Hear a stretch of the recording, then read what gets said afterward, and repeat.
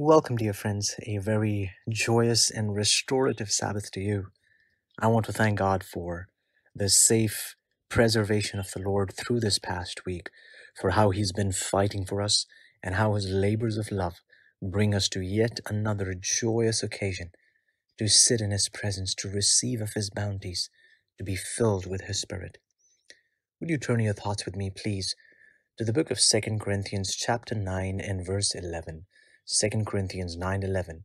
The Bible says, "Being enriched in everything to all bountifulness, which causeth through us thanksgiving to God."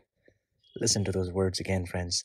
Being enriched in everything to all bountifulness, which causeth through us thanksgiving to God. What a special blessing, friends. As we look around, we see that in everything the bounties of the Lord have just been showered and endowed upon us so richly, so abundantly. Truly, friends, so unspeakably, as the Bible tells us, there's not even room enough to keep it. No wonder the psalmist in Psalm 116, verse 7, speaks to himself, saying, Return unto thy rest, O my soul, for the Lord hath dealt bountifully with thee. Friends, what a blessing it is to reflect, to reminisce, to count our blessings, and to recognize how richly we are a favored people, dear friends. And so the writer of Corinthians, Paul, reminds us that because God has been doing so wondrously, because God has been doing so bountifully in every area of our life, it should cause us to offer thanksgiving to the Lord God who is always, always there for his people. I pray, friends, that you would take time this blessed Sabbath day as the Lord surrounds you with the memorials and reminders of his precious faithfulness, that your heart will be lifted up with heavenly gladness that would swell the heart of God with joy to see his people love and celebrate his goodness. Join us as we pray, dear friends. Dear Heavenly Father, help us, Lord God. You do so much for us. We thank you so little. Help us to take time, help us to push life aside, and to take time to give God glory, who is faithful beyond measure. I thank you, God, for my brothers and sisters.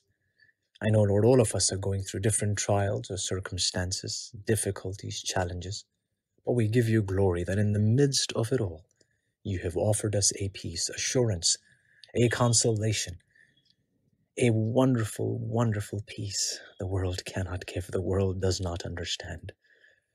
God, I thank you for the gift of this Sabbath, its restorative abundance, and the great works you seek to accomplish in us, through us, for us today. I thank you, God, for your child who you have prepared with the equipment of the Holy Spirit. And we thank you for the word that you want to enlighten us with.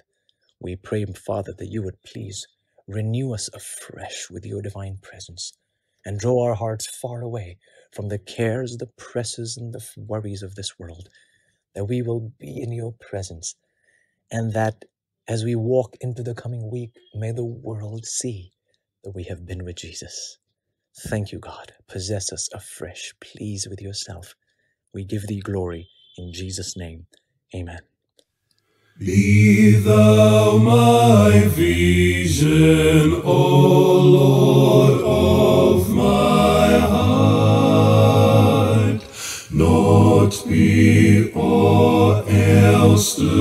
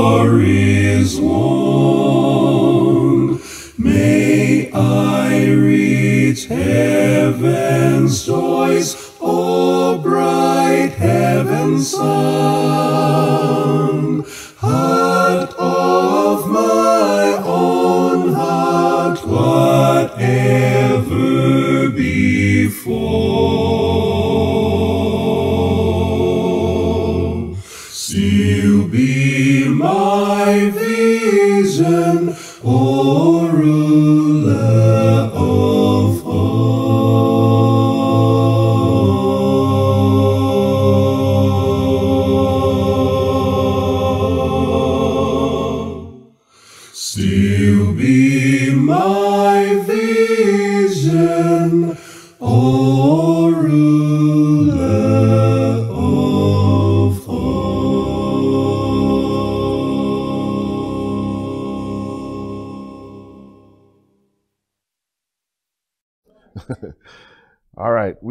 get into God's word. We're in the second part of our, our series on the health message.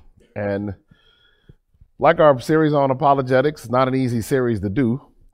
Um, you know, the health message speaks to a lot of what we are and who we are, um, especially as Americans in a land of excess. Um, the idea of temperance is um, oftentimes very difficult. So, uh, as we as we begin to talk about the health message, you know, know that I, I'm not. It's never uh, um, me trying to pound anyone or anything, but it, it is a part of what makes us who we are as Adventists, and um, so it is really important that we that we study the health message. Um, having a little slow uptake on our slides.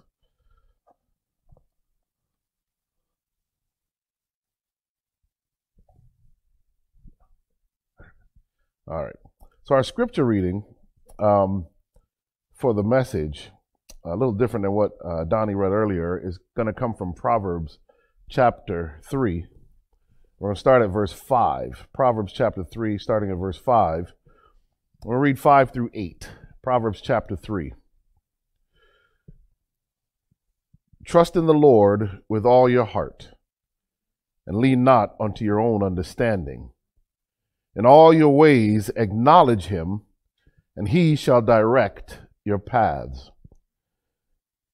I like what uh, the, the, the, the wise man says in verse 7 Be not wise in your own eyes.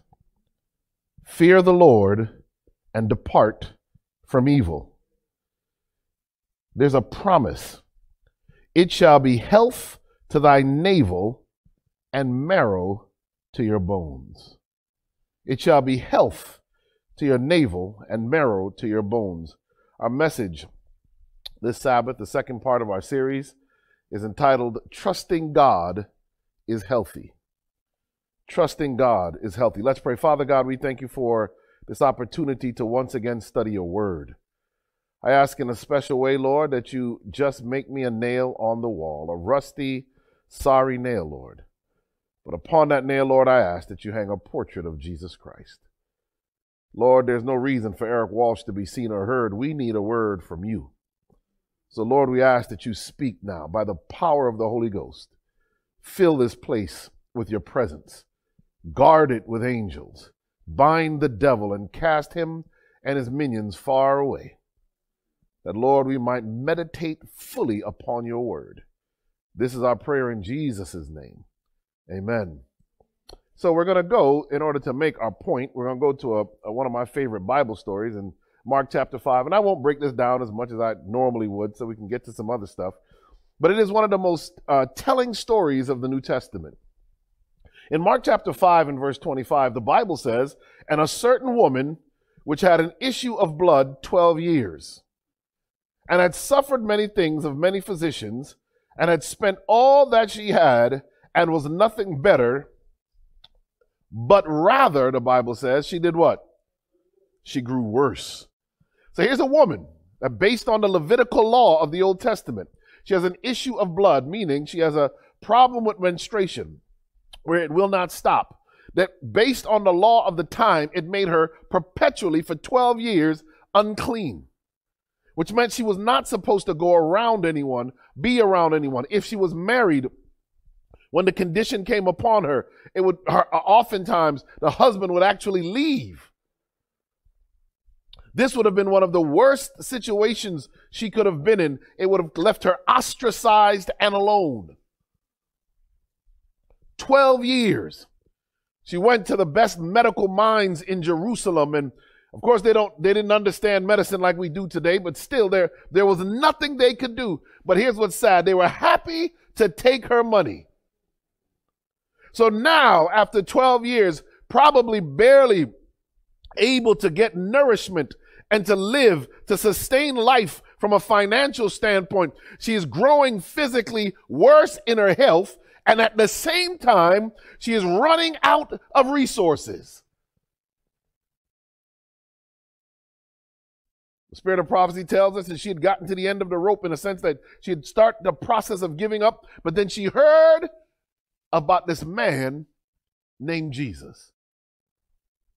And in verse 27, when she had heard of Jesus, she came in the press behind and touched his garment. The spirit of prophecy tells us that she had tried to meet him a couple other times before. She could never get close enough to him. She had resigned that she might not ever meet him, but he happened to pass by where she was. She would have been physically weak, church. She would not have been able to push and shove like some of us can. But the Bible says that when that happened, she came in the press behind and she touched just his garment. And here's the logic she had. For she said, If I may touch but his clothes, I shall be whole. What a powerful story of trusting God. She didn't even want his attention. In fact, she didn't think he would even pay her mind. He was so uh, under the, the deluge of the of the throng of people around him. She figured, I won't even try and bother him. He'd never hear my voice if I could just touch his clothes. She trusted the healing power of Jesus. Verse 29 says, And straightway the fountain of her blood was dried up, and she felt in her body that she was healed of that plague. She touched him, and instantaneously she could feel deep down in her lower abdomen something shifted. She knew immediately that she was healed. She tried to slip away from the crowd quietly and not make too much of a fuss. She'd gotten what she needed and she was ready to retreat and go home and start her life. But Jesus would not let her get away so easily. Verse 30, the Bible says, And Jesus, immediately knowing in himself that virtue had gone out of him, turned him about in the press and said, Who touched my clothes? Can you imagine? There's a mob of people trying to get at Jesus, people sticking out their hands, trying to fall at his feet. People are just uh, throwing um, requests at him. But Jesus stops at the touch of faith. He says, Virtue, goodness has gone out of me. You see, when you trust God, you tap into his goodness. It flows naturally to those who trust him. And it does not mean every time you get exactly what you want, but what you do get is his attention. He said, Who touched my clothes? And we know which disciple responded uh, by Luke, it was Peter. You, you would have probably figured that out even if it wasn't written. You know, Peter is the one who informed Mark to read write the book of Mark, so he probably didn't put his name in there because he's always in the mix. And so he didn't say anything here, but Luke tells on him, it was Peter, and his disciples said unto him, Thou seest the multitude thronging thee, and sayest thou who touched me? What are you, crazy, Jesus? Look at all the people around you. How could you ask who touched you? Everybody's trying to touch you. And we're going to see that one of the lessons of this of this of this story is everybody trying to touch Jesus does not have faith in Jesus. Verse 32 and he looked round about to see her that had done this thing. So he finds her. He knows who she is. He looks at her, and now she realizes she can't hide. Verse 33 But the woman, fearing and trembling, knowing what was done in her, came and fell down before him and told him all the truth. She's fearful, she's trembling, she's whole. Even the anemia, the chronic anemia she would have had for 12 years, the, the, the, the amount of red blood cells in her vessels now, in her blood vessels, would have shot back up to normal. She was fully whole, fully strong, and yet when she is able to speak to Jesus, she trembles. Fell down and told him everything. And I love what Jesus says to her in verse 34. And he said unto her, Daughter, thy faith hath made thee whole. Go in peace and be whole of thy plague. We're going to get back to this the, towards the end of the message, but notice that Jesus does not say, It's a good thing you reached out and touched my clothes because that saved you. It wasn't superstition, it was her faith her trust in God that made her whole. That is the lesson. Now, so trust in God is one of the key components of being a Christian, obviously.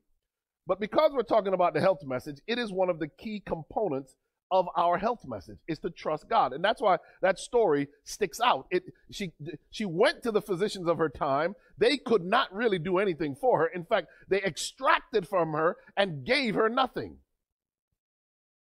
But when she trusted God, her whole life turned around. Now, watch this. So, there are eight laws of health. You guys have probably all seen this before. We use the acronym uh, New Start. And normally, this is a community facing uh, uh, thing that we do. So, we start with nutrition and exercise. But I would venture to say that when you're dealing with the church, you almost have to flip this on its head. And you start with trust in God. You see, as I talked about in the first message on the health message, um, the purpose of the health message isn't to lower cholesterol or to reverse diabetes. Those are beautiful side effects of our health message. The purpose of our health message is clarity of mind and content of character. This body is not going to heaven with you. The body we go to heaven with will be glorified. The scripture says, in a moment, in the twinkling of an eye, we shall be uh, made new. We will be uh, made whole. We'll be glorified. Right? So it's the tr- what you do take to heaven with you is your trust in God. So this is why I start here. Because the truth of the matter is, none of the other points of our health message really mean anything if you don't have this one. You can be physically fit and in faith weak. Look at what the Bible says. we're going to speak to how important trust in God is, not only from the, the, the vantage point of the health message, but also prophetically. There are two reasons why trust in God are critical. In the chapter of Luke, uh, chapter 21, where Jesus outlines end time events, this is one of the most startling statements he gives in Luke 21 and verse 26. He says, Men's hearts failing them for fear and for looking after those things which are coming on the earth, for the powers of heaven shall be shaken, which is a reference really to uh, the, uh, the, the, the, the, seventh pl- uh, plague of the last plagues, but it also speaks to what's going on every single day. What is the number one killer in the United States of America? Heart disease. And the number one reason someone visits a medical office is anxiety. The prophecy is in America is literally fulfilled if you just look at, if you were able to just do a search of all of the medical records in America, you'd find that people die most of heart disease and they suffer most with anxiety. Men's hearts failing them for fear.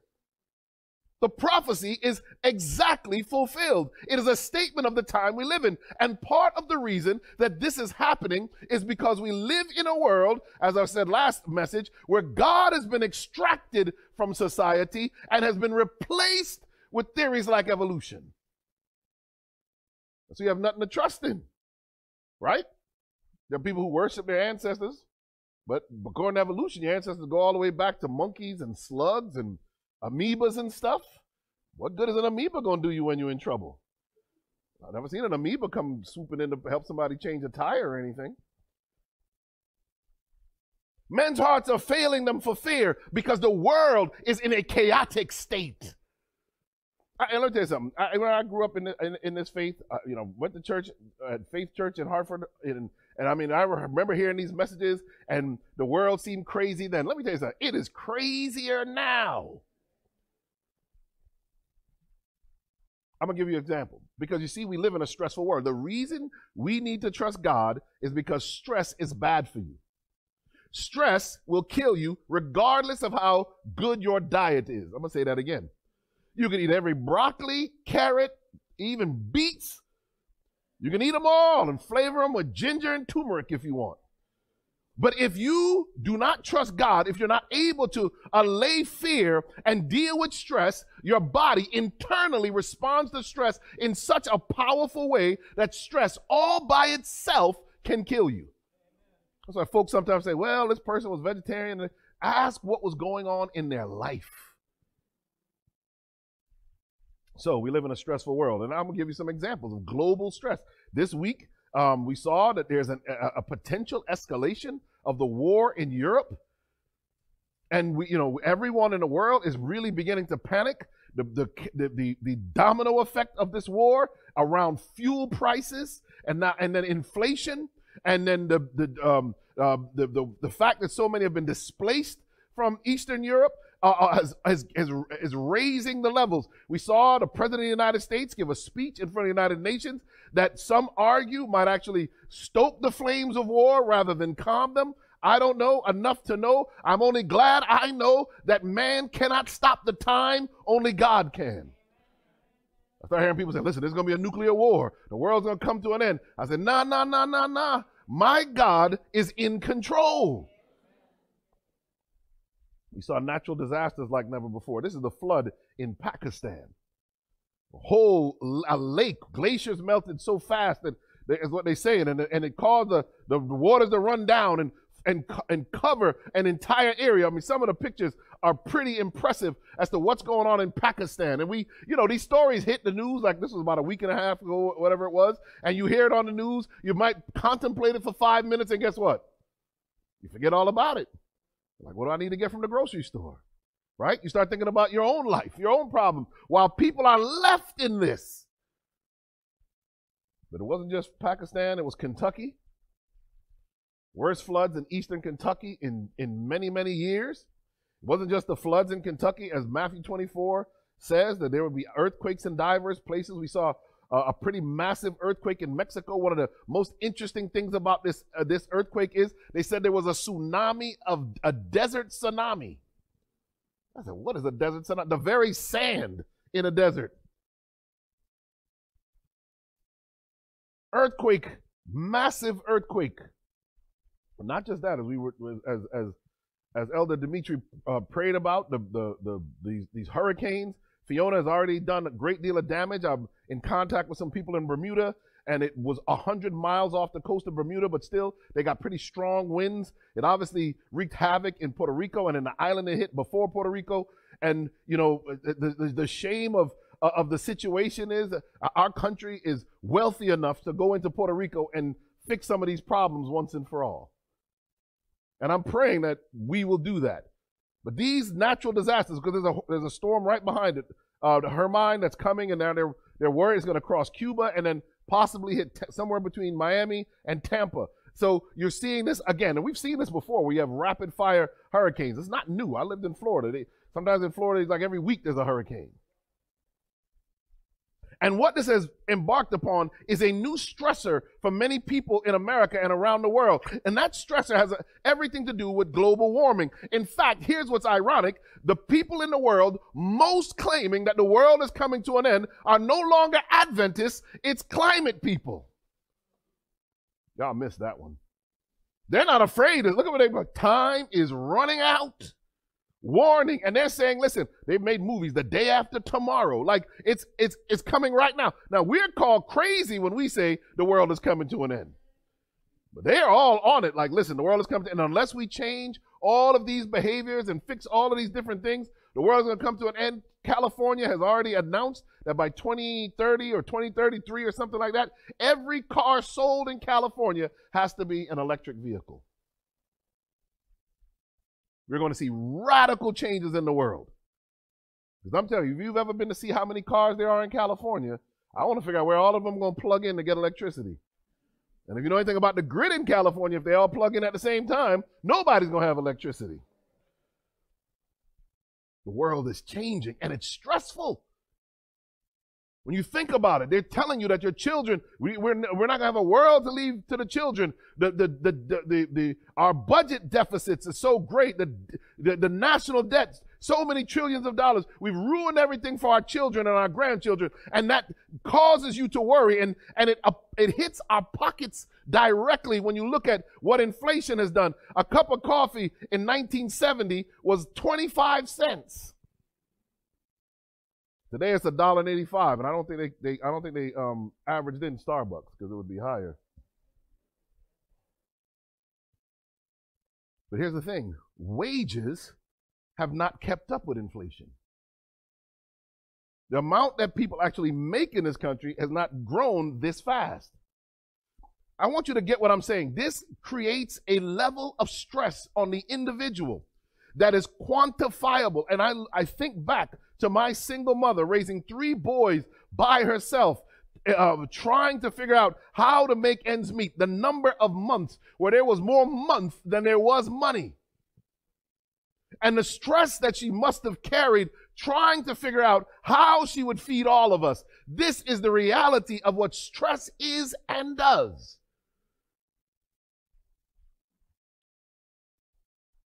So much so that America, despite the, the, all of the talk about the pandemic, we missed a very terrible epidemic that happened during the pandemic. We missed one. And that is the number of drug overdose deaths, uh, drug overdose deaths in the United States. Did you know that in a 12 month period in the United States, over 100,000 people overdosed on drugs?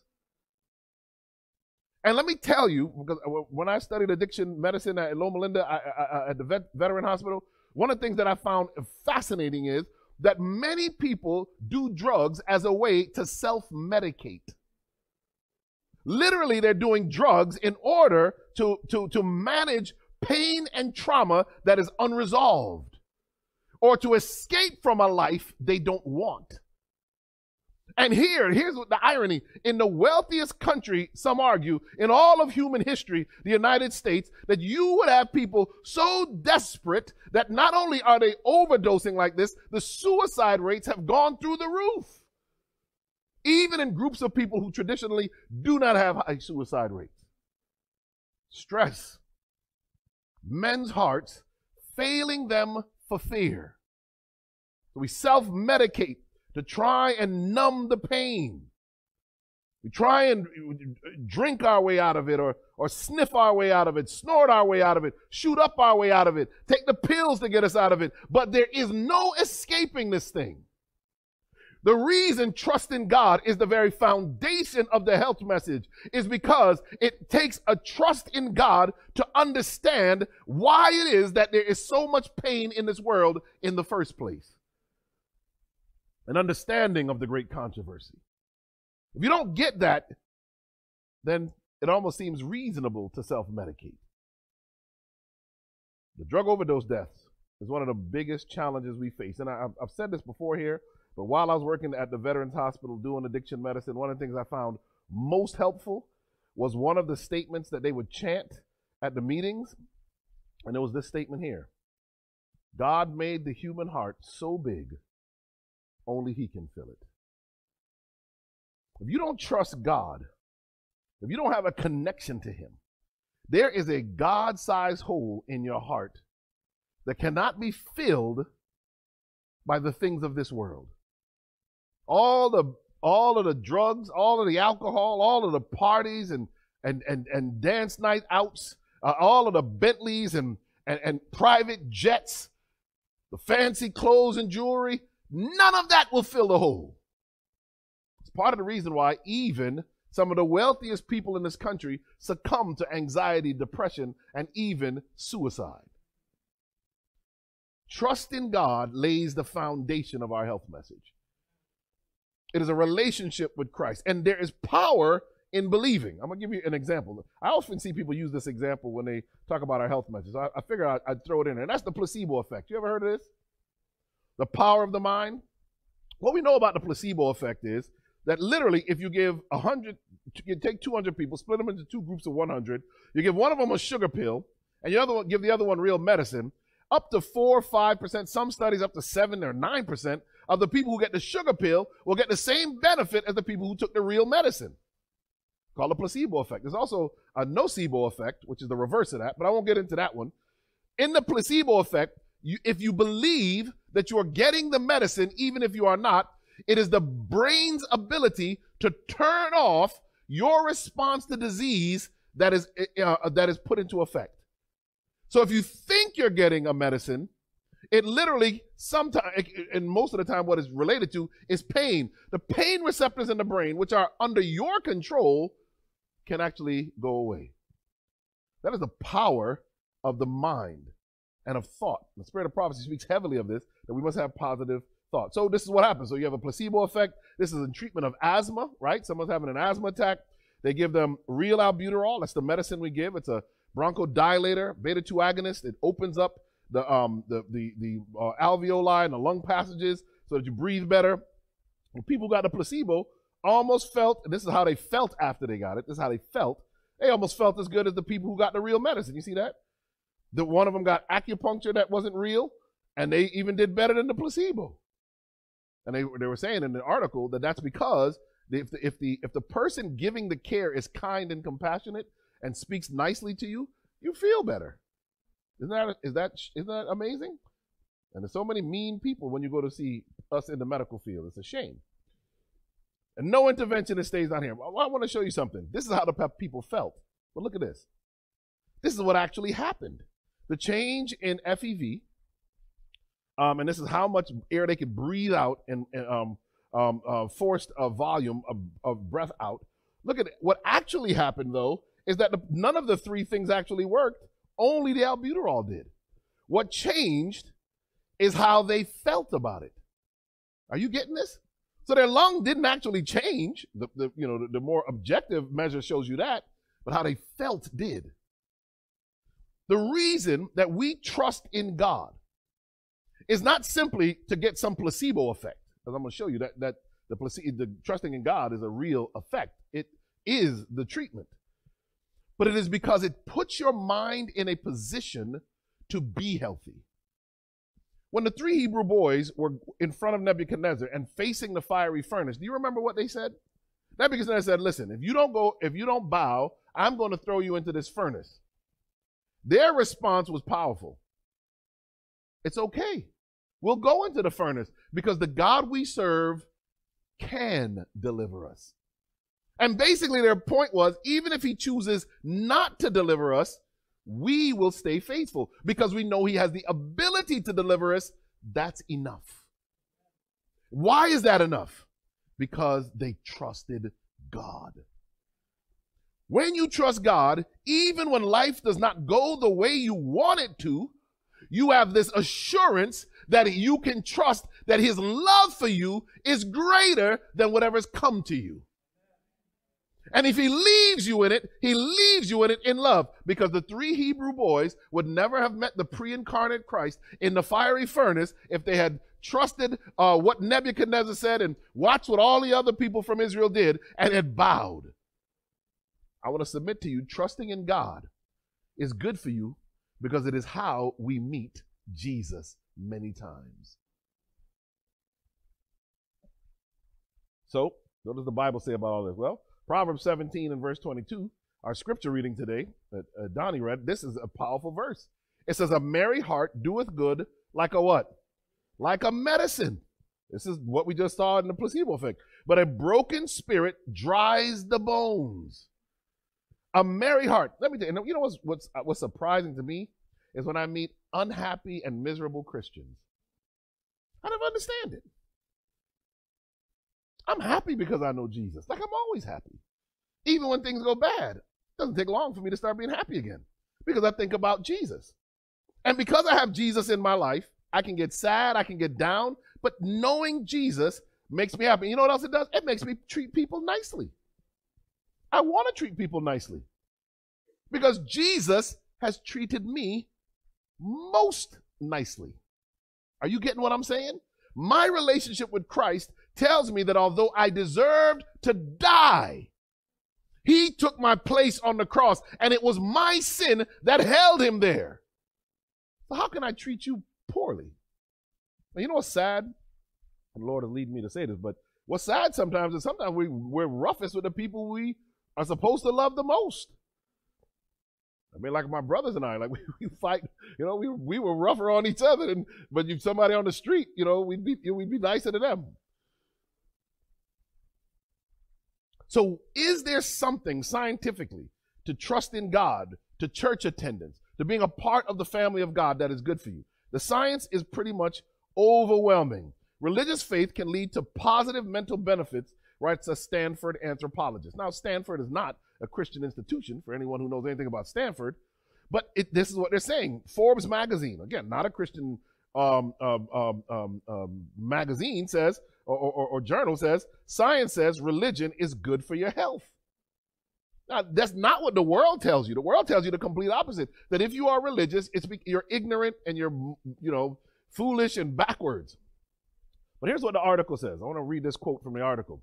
There is ample reason to believe that faith in a higher power is associated with health and in a positive way. Researchers at the Mayo Clinic, one of the best medical institutions in the country, uh, concluded most studies have shown that religious involvement and spirituality are associated with better health outcomes, including greater longevity, coping skills, and health related quality of life, even during terminal illness, and less anxiety, depression, and suicide. Several studies have shown that addressing the spiritual needs of the patient may enhance recovery from illness. My mother, when she was dying the painful death that cancer gave her was still joyous. You know what we did that whole last weekend with my mother as she uh, before she died? She died on like that late Sunday night, Monday morning. We sang hymns the whole time she was awake. She was joyous. My friend, one of my good friends that I went to medical school with, was her oncologist. And he couldn't believe Never on the oncology floor. And that was a cancer hospital on that floor, the floor where they put people who are terminal. Never before had he heard songs of praise coming out of the room. When you trust God, it gives you a peace when the world would say you should be anxious. So, more specifically, health benefits of the Christian faith. This is from uh, um, online site, The Human Journey.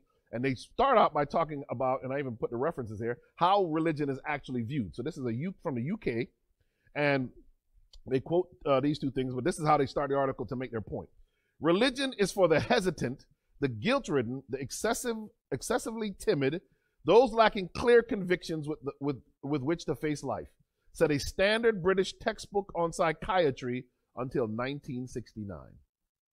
They viewed being religious in this British psychiatry textbook as if, if you were religious, as if something was wrong with you. The implication is clear. Faith selects the weak and is probably bad for your health. That's what the medical establishment the, that wrote that textbook says. Sigmund Freud. How many of you heard of Sigmund Freud? Pretty much all of us have heard of Sigmund Freud. I'm not a big fan of Freud. He said religion is a neurosis. I remember being at Oakwood taking psychology. I was so glad I was at a Christian school when I took psychology so that all of this could be broken down and explained properly. Because when I took it in uh, later on in medical school and at other schools, they weren't nearly as so kind to religion. They sided with Freud, even though Freud has been debunked on a number of things that he said. So the article to defend faith says this: Is there a link between faith and health? Evidence from over 1,200 studies. How many studies? 1,200 studies and 400 reviews has shown an association between faith and a number of positive health benefits, including protection from illness, coping with illness, and faster recovery from it. Of the studies reviewed eh, in the definitive analysis, 81% showed that faith was beneficial and only 4% showed that there was any harm whatsoever. And one of the things that they say in the notes is this has to do with those who don't believe in blood transfusions or don't believe in any kind of medical treatment at all. That then those studies it could be harmful. The raw data from such large studies show a significant benefit in mortality for those involved in organized religion. Don't miss this. For instance, one study followed 21,204 representative American adults over nine years and correlated death rates with religious activity in a large range of other data. Look at this. Income and education had surprisingly little impact. But those who attended church regularly had a life expectancy, a life expectancy seven years longer than those who did not. Now look at this next line. For black people in America, the benefit was 14 years. The researchers attributed the benefit to more protective relationships, including marriage and to health behaviors. They don't want to say what I'm going to say, and that is there's also the component that when you trust God, you get to leave things at the foot of the cross. There are stressors that happen, difficulties and challenges that come to life. And there's something that lifts from you when you're able to go on your knees and call on the name of the Lord. Something shifts and a weight is often lifted and you realize that yes, I might be powerless over what's going on, but I serve a God who is all powerful. So, what about mental health? So, I have a picture here of Bill Maher. I talk about him all the time. Uh, Bill Maher is one of the great atheists in the United States. In fact, he he on his show on HBO, he he um, he uh, celebrates the fact that because of the documentary relig- uh, Religulous that he made and other things that he's done, that he's actually he's actually caused people to leave Christianity, Judaism, Islam, but mainly Christianity and become atheists. He's proud of it, right? He says here, Bill Maher mocks Sunday school, claims churches should pay taxes for making children stupid. This is the this is the environment we are in as Christians. For those of you who don't think there'll be a time of trouble coming, understand that you could say this. You couldn't go on television and say this about any other group of people. I want you to think about that for a second. You could not go on television and say stuff like this about anybody else. You'd be canceled. Look at this benefit for mental health. In the popular imagination, religion commonly underlies florid mental illness such as psychosis. In reality, though, religiosity has been shown to protect against psychosis, and patients who use religion to cope had better insight with uh, and were more compliant with medication. In the majority of studies, religious involvement is correlated with well-being, happiness and life satisfaction, hope and optimism, purpose and meaning in life, higher self-esteem, better adaptation to bereavement, greater social support and less loneliness, lower rates of depression and faster recovery from depression, lower rates of suicide and fewer positive attitudes towards suicide, less anxiety, less psychosis, and fewer psychotic tendencies, lower rates of alcohol and drug abuse, less delinquency and criminal activity, greater marital, marital stability and satisfaction. When they look at it, being religious is actually good for your health. It's no wonder the devil is attacking organized religion the way he is. I saw Jay Z interviewed on one of the um, it was like hip hop uh, online interviews on his morning shows, I think, and he mocked people. Jay Z, for those of you who don't know, is one of the, arguably the greatest rapper of all time. Married to Beyonce, highly influential. And he said that you basically he said they asked him, "Do you believe in religion or do you believe in God or something?" He said, "He said, man, I would never believe in organized religion." He basically said, "I would never be so foolish to do that." There is an attack on what we have here now. And they can't openly attack just yet. But trust me, church, there are forces at work that are going to change the way religion is viewed so much that it will be open season on anyone who calls the Bible the Word of God. Does it benefit mental health? It absolutely does. This is the conclusion of the largest literature review and is endorsed by a former president of the Royal College of Psychiatrists. This is what the, the president, former president of the Royal College of Psychiatrists says. He laments the lack of attention given to, for, to the strong evidence. Look at this. He says, for anything other than religion and spirituality, governments and health providers would be doing their utmost to promote it. You know what the psychiatrist is saying?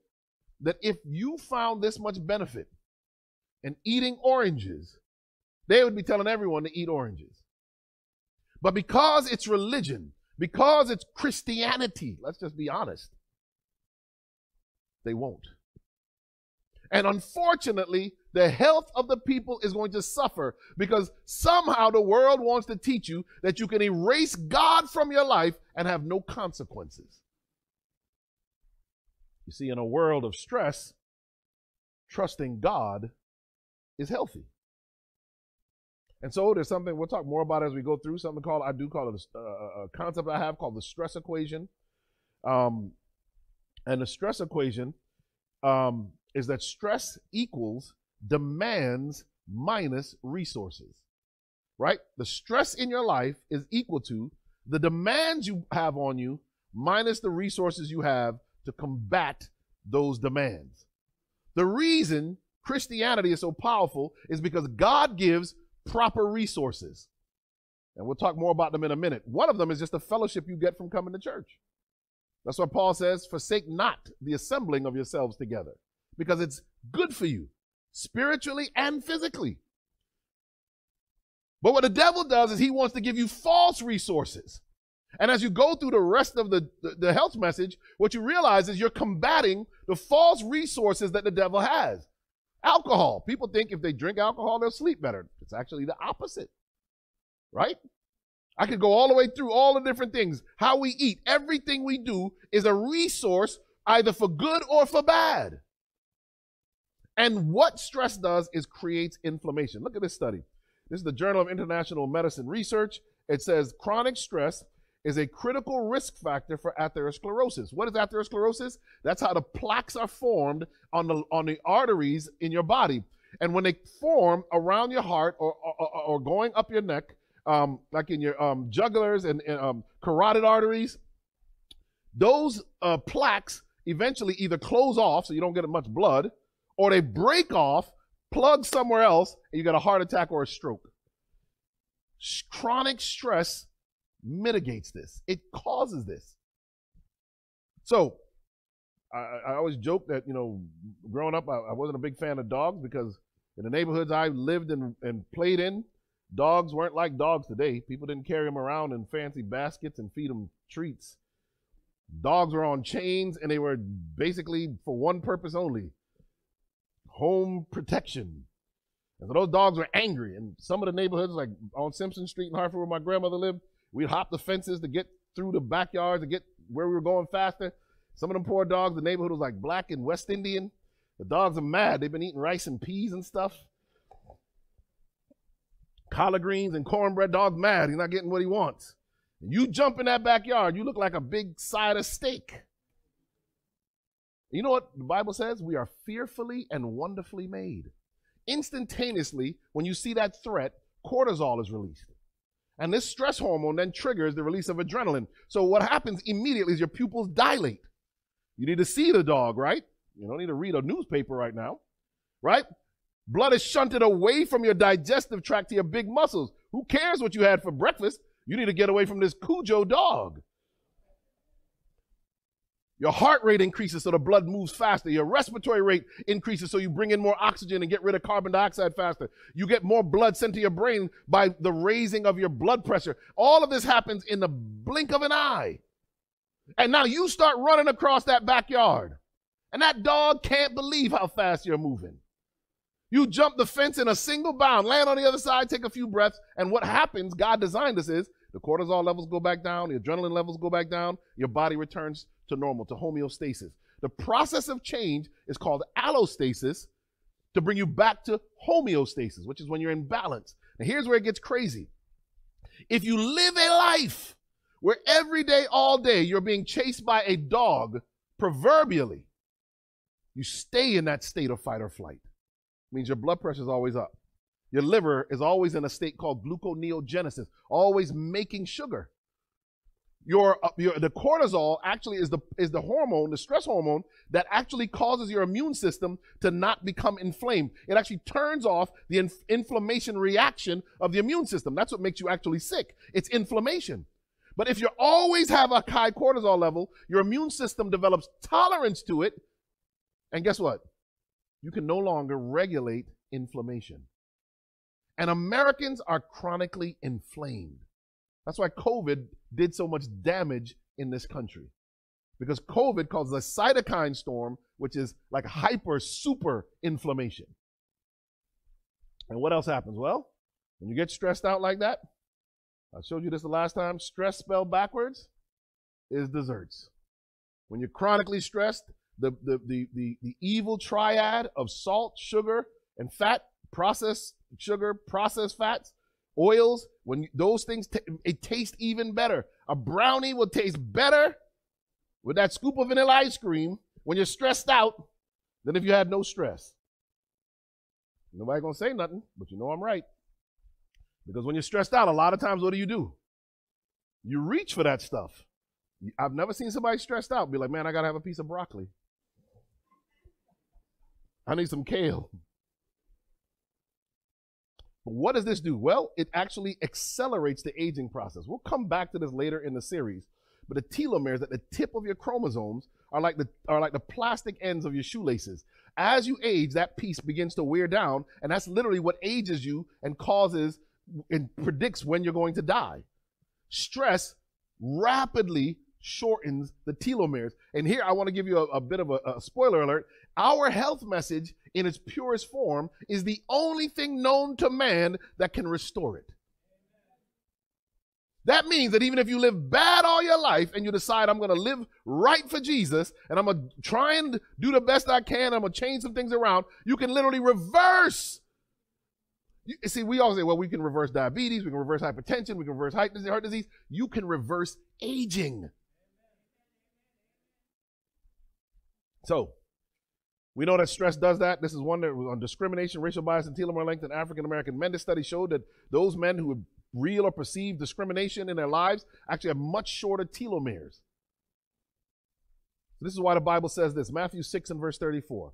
Take therefore no thought for the, for, for the morrow, for the morrow shall take thought for the things of itself. Sufficient unto the day is the evil thereof. You know, when I pray, I, I, I try and put embed uh, promises into my prayers according to the sanctuary uh, method of prayer. This is one of those promises you need to walk around with sometimes. And I'm guilty of this. Sometimes I'm thinking of something I got to do weeks from now, and it's stressing me out. The problems of today are enough for today. Jesus said, Don't worry about what's going to happen down the road. You never know where life is going to turn.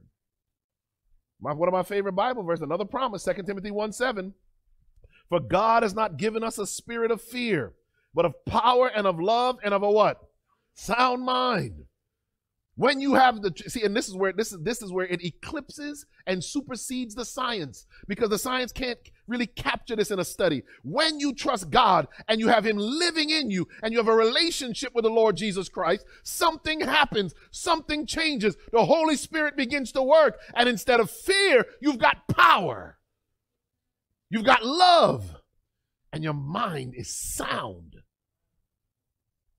Jesus says it like this Come unto me, all ye that labor and are heavy laden, and I will give you rest. He's saying, Stop being stressed. First Peter 5 and verse 7 casting all your care upon him for what? He cares for you. Why can I trust him the way I trust him? Because I know how much he loves me. You see, you know, the spirit of prophecy tells us that we should study the, the, the crucifixion of Christ, the end of his life, we should, uh, for one hour a day, we should meditate on it. And you know what happens when you meditate on what Christ did for you? You begin to understand more fully how much he loves you. The more you understand how much he loves you, the more you begin to trust him. Right? And then once you trust him, now like the three Hebrew boys, or like the woman who touched just the hem of his garment, you can leave your stress with him. You got a child that you're worried about that isn't living right? You can leave it with him because you know his love for you is greater uh, than anything on earth, and his love for your child is greater than your love for your child. You can begin to trust him. 1 John 4 and 18, there is no fear in love. Perfect love casts out fear. Fear has torment. It, it drives you crazy. It keeps you up at night. It torments you. But he that has fear is not made perfect in love. And look at what, what John says. We love him. Why do we love him? Because he first loved us. I trust him because he showed me love before I knew who he was. That's what the Bible actually says.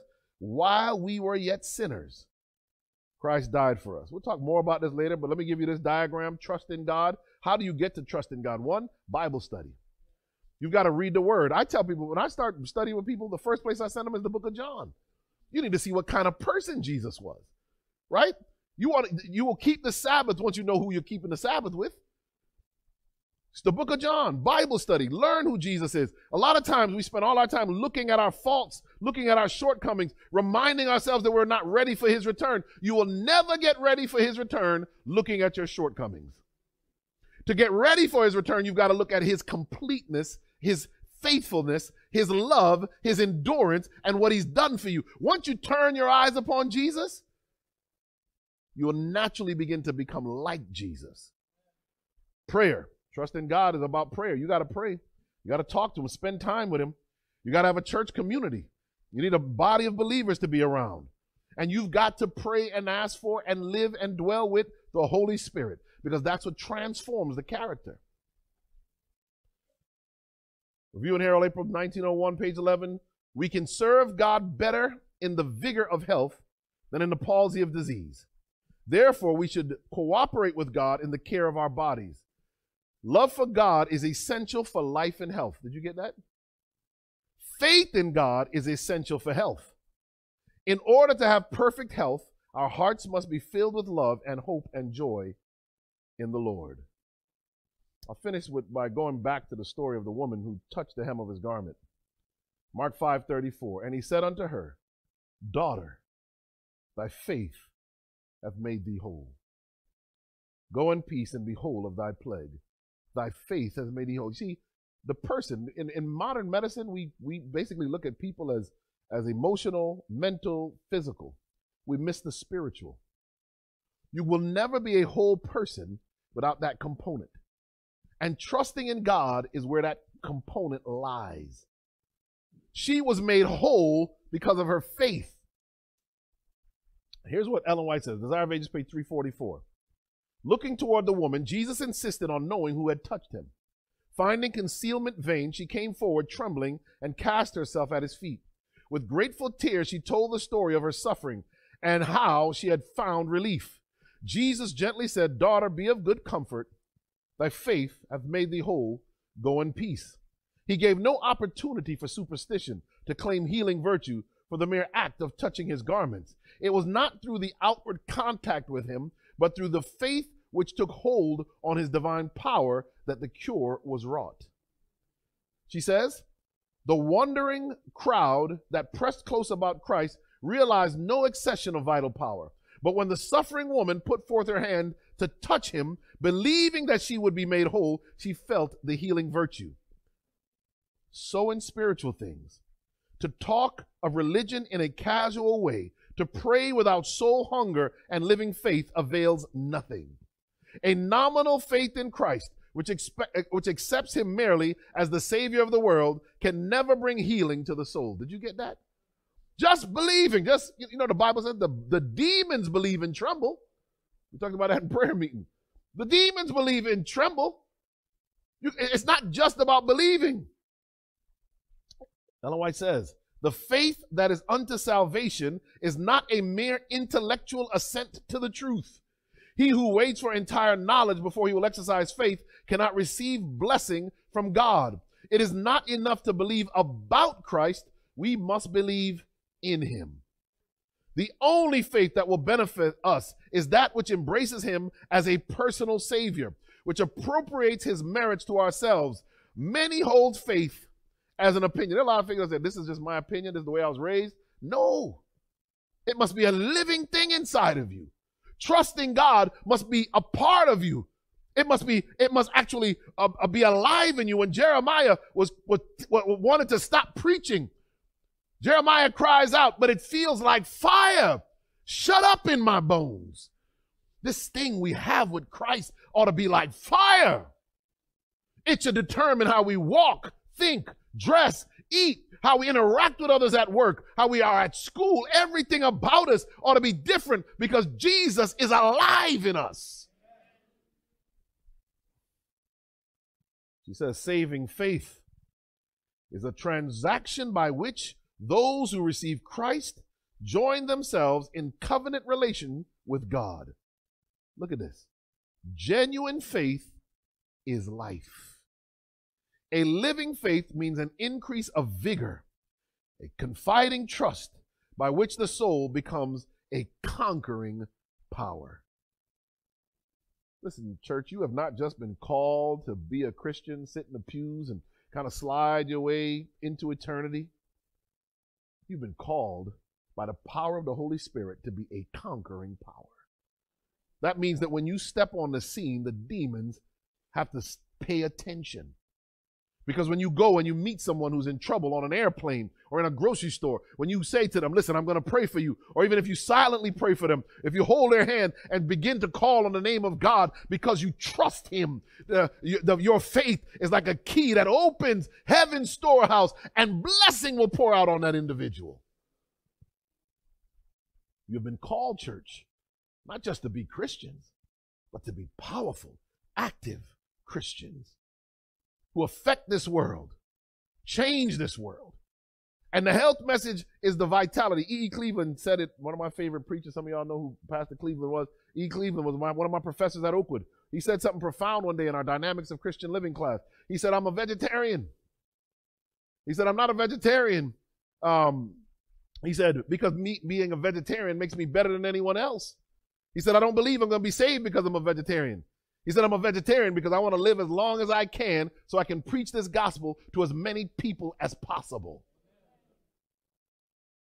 The health message is the right arm of the gospel, not just because it's the way we can connect to the community, but it gives us the clarity of mind and the vigor of strength in order to reach people for Jesus Christ. And I can tell you, some of you are going through some difficult things. But I want you to know that the same Jesus that turned and found that woman in the crowd is the same Jesus in heaven today. Whatever it is you're going through, I challenge you this week to trust God, to reach out and grab hold the hem of his garment. And as Ellen White said, that is to grab him in a trusting way, to know that he can do what he has promised. And I pray for you this week that as you exercise faith in Him, you'll see the changes in your life and in the lives of those who you're praying for. When we walk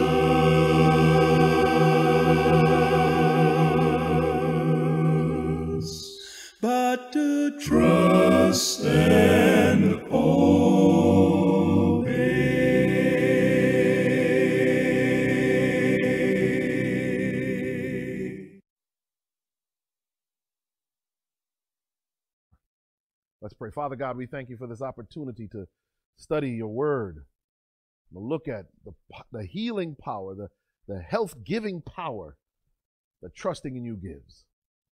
Lord, the world would have us be ignorant of this. The world would want us to think that we are fools for believing in you, for trusting your word, for calling on your name in time of trouble. But Father God, we have an assurance that you sit high on a throne, but you look real low. Father God, your hand is upon each one of us. I am asking, Lord, this week for deliverance for someone in here. I'm asking this week, Lord, for answered prayers. I'm asking this week, Lord, for our characters to look more like the character of Christ than they did last week. That we, Lord, would live for you.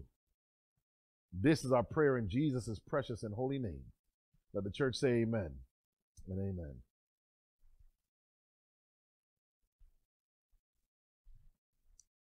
Thank